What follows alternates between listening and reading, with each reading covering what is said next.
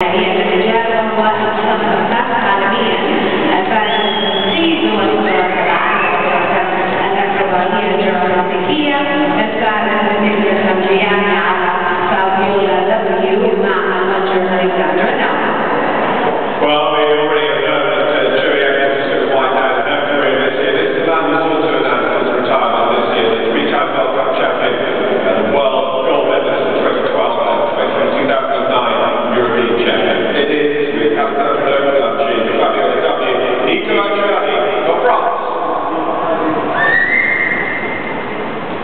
7.5 and a 9 in compulsory, 7.16 in the check.